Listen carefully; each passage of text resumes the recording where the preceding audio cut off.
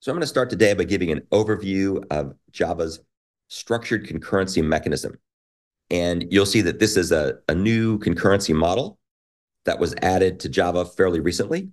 And it's designed to enable the processing of so-called embarrassingly parallel tasks atop the virtual threading mechanisms that have been added to Java 19 and of course beyond. We went over virtual threading in some of the previous videos. So what I'm going to talk about now leverages virtual threads and then extends and enhances them in some new interesting ways. So structured concurrency was added fairly recently, a year or two ago, to what I like to call very modern Java as a new concurrent programming paradigm. And the purpose behind it is to try to make concurrent programs easier to read, easier to understand, quicker to write, and also hopefully safer what does safer mean in this context? Safer means that we try to avoid so-called thread leaks and orphan threads. So you can see here in the unstructured traditional way of doing Java threading, thread T2, if spawned by thread T1, could become a quote orphan if thread T1 finishes before thread T2 completes. And that can cause some issues in terms of basically threads running amok and doing things that exceed the scope in which they were created. In contrast, in a structured concurrency model, the lifetime of these two threads are constrained to run within the scope that encloses them. And this is very similar to other forms of structured programming that we'll talk about here momentarily. In particular, Java's structured concurrency paradigm is designed to try to mimic the classic structured programming paradigm. If you're familiar with the history of computing, structured programming has been around for quite a long time at this point.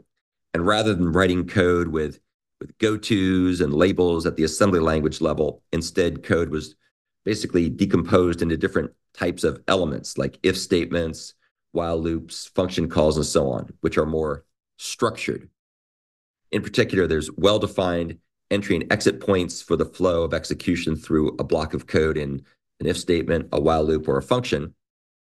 And there's a strict nesting of the lifetimes of operations in the case of structured programming, things like local variables and so on, that mirrors the syntactic nesting in the code.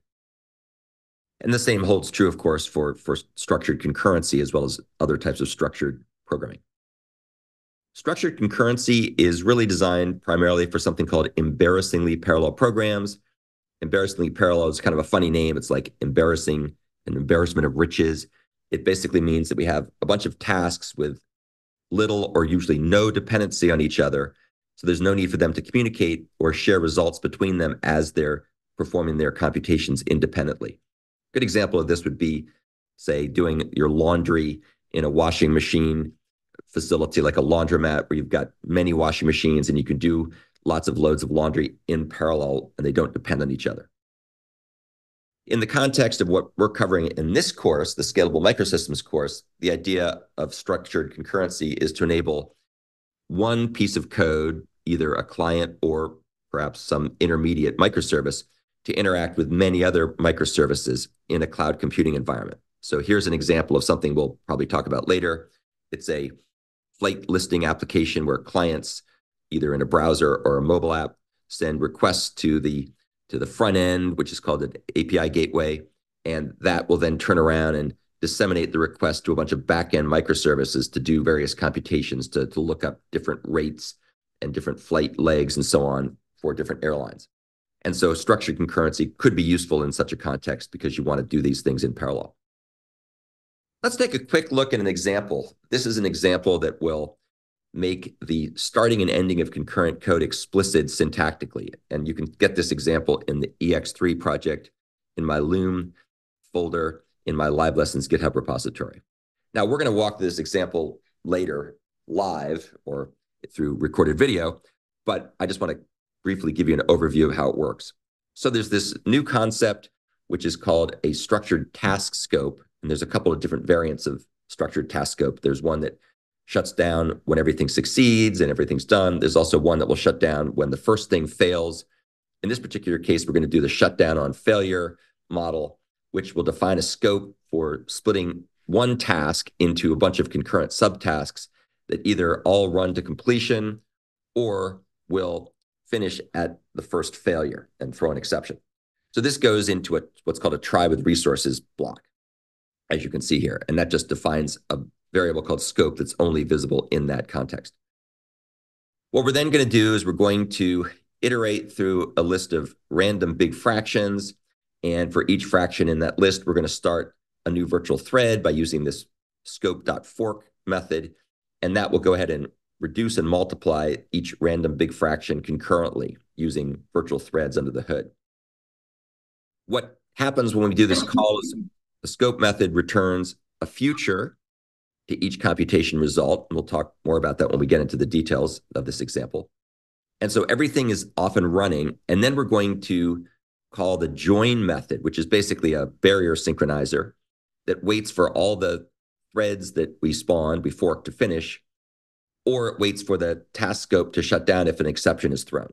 Let's assume for sake of argument, no exception is thrown. So we wait here at this join point or barrier synchronization point for everything to finish.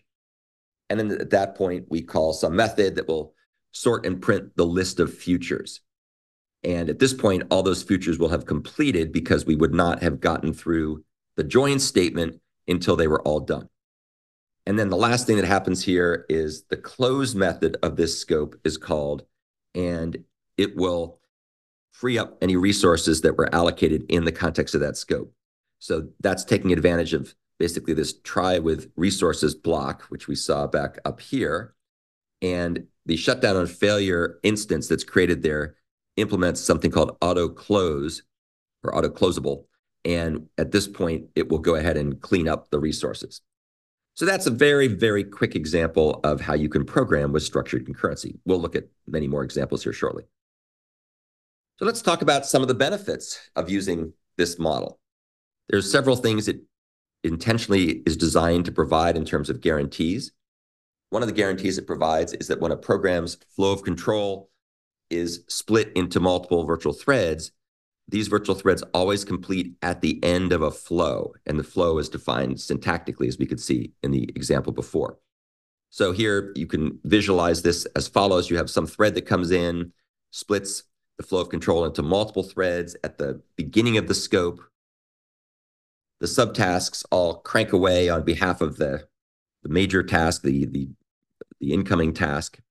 And they're going to run in different cores and different virtual threads. And then the overall task waits for the subtask's results and also can monitor them to see if anything fails.